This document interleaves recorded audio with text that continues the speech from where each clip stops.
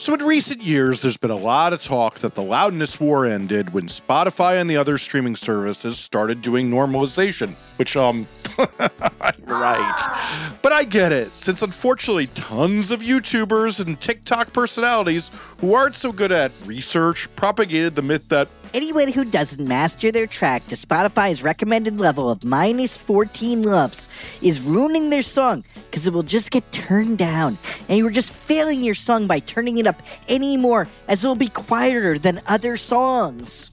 Yeah, rocket scientist, you're really the one who should be explaining things to people. Maybe leave that to those of us who actually read and not just watch TikToks. Anyway, all you have to do to see for yourself that most major artists in the dominant music genres on Spotify are mastering way higher than minus 14 LUFS is simply call up a playlist on Spotify and start typing the songs into the amazing website musicstax.com. And as you'll see, nearly none of the songs will be at minus 10. Never mind, minus 14. And unless you're making folk, Americana, or music related to classical, it'll be nowhere near that. Since this LUFS target is only for if you want a target for the least loud you need to make a song before Spotify turns it up.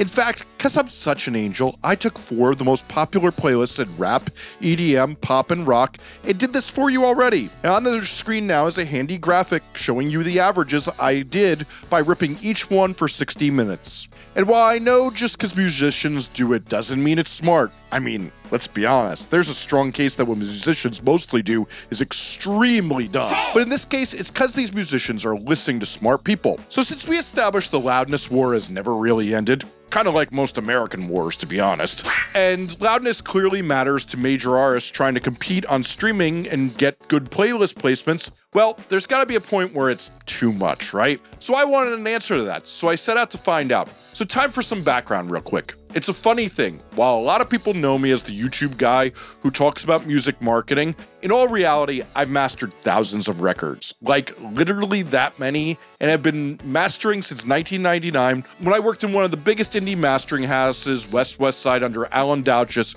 who is one of the most credited engineers in the history of music, while also being one of the smartest guys I've ever met. Anyway, this is all to say my head is still in mastering since I do it every day. So, one of the things I often do while I'm mastering is look at the reference song I've been given by an artist, and I go over to MusicStax since it tells you how loud a song is, as you can see here. And I'm often curious what I'm listening to, but don't have a way to measure on my phone when I'm walking around and just like, okay, let's listen to the reference of the thing we're about to work on when I get back from the gym, which um, clearly you see I hit a lot. What? Luckily, I found myself emailing with Luke from MusicStax. If you don't know, aggregates Spotify data onto the site MusicStax.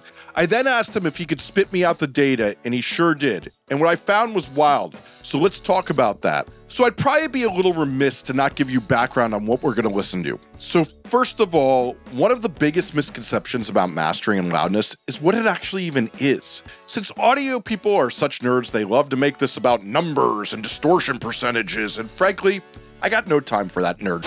Let's talk reality. Music at its core is a mood altering drug that makes you feel a way you'd rather feel.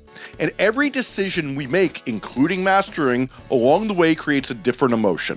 And loudness, along with the distortion and sometimes pumping it creates, elicits a different emotion in a listener. And frankly, these songs that are the loudest on Spotify diverse sounds show the nuance of emotion there is in loudness and how much different it can work emotionally throughout each song. If you just put a number on it, well, you really miss the boat. But a lot of these nerds who complain about it are the type of people who need rules to feel a lead over people. So complex emotions are a bit much for their sad existences. Because truly, the guy bitching about records being loud on message boards is one step away from incel in levels of being pathetic. Now, when a song is louder than most, we have to remember what's usually happening. Is it's being made loud in the stages of mastering. So the mastering engineer is using dynamic control, saturation, clipping, and limiting. And it's taking the volume that is the loudest and it's smushing it down, and that brings more of the sound right below it louder as you can see in this little graphic I made for you. Now, in many genres, this is then perceived as having more resolution and impact, or what many people just call energy. Anyway, as the graph shows, this is what's happening. Now, that's all well and good, but to attain this, you get distortion, and that can make it unpleasant to listen to, as you're going to find out when you listen to some of these songs. And that really is the balance for so many. When you're evaluating how loud a master should be, a lot of the time the choices are about when the dynamics go away and it doesn't hit anymore in certain parts, or when does it distort. And that's for the creators to decide and then us listeners to decide when we decide whether or not to listen to it after they're done making their record. But to get a sense of how hard this loudness is to achieve, while still getting any plays, Luke did a really smart thing when he made me this spreadsheet. He made one of songs that have below 15 popularity score and one that is above 50. In the one above 50, the span of the top 100 songs is between 3.7 LUFS to 0.3. This tells me it's really hard to get a song this loud and still have it be highly listenable. And frankly, after spending the day listening to these songs, well, a lot of them are pretty abrasive and sound like they were mastered by being run through a Boss distortion pedal. And here you can see a nice graph Luke from MusicStax made of songs, and it really shows how when songs are excessively loud like these, well, they really don't do well on Spotify, which is why so many of them don't have a high popularity score, and nearly none of them are in the upper percentile. And truly, if you enjoy this video, you should actually be really be tipping Luke, because over on MusicStax, if you use this site regularly, he has a buy me a coffee button, and he really deserves it for doing this. Okay, but enough theory, let's listen to some songs. So let's start off with a caveat. So making sure we only listen to ones with the popularity score 50,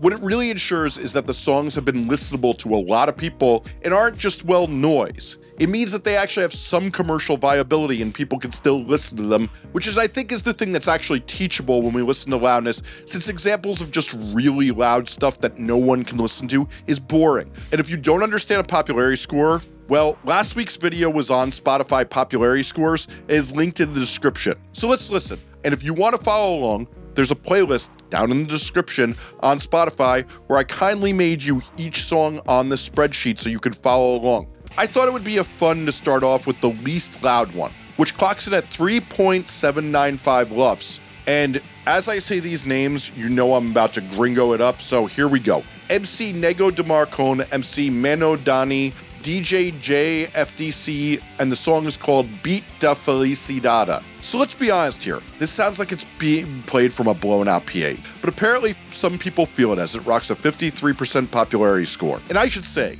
it really brings things into perspective how little Spotify turning these songs down does, since all of them are turned down around 10 dB because they're so loud. But when you amass all that information in the front of the image, it really makes a difference in the perception of loudness. And if you hit play on one of the songs in this playlist and then one that's minus six LUFS and compare it, you will see how huge a difference it is. One of the records that's dominant on this playlist is JPEG Mafia and Danny Brown's record that is truly one of the greatest titles of all recent times, Scaring the Hoes. And the first song up is Burfict. Now, I've actually listened to this record a bit already because it fucks. And while you can hear some distortion, to my ear, this is the most cohesive one that feels like the loudness fits the vibe and while I wouldn't call it clean, it sounds good and like a good vibe. And frankly, I don't think the loudness would be what scares the hoes. And six of the songs in this chart actually come from this record alone. The track God Loves You even clocks in at 1.33 LUFS, and I think it sounds great and damn clean. And there's a JPEG Mafia track that's solo called Hazard Pay that's at 0.92 LUFS and sounds good too.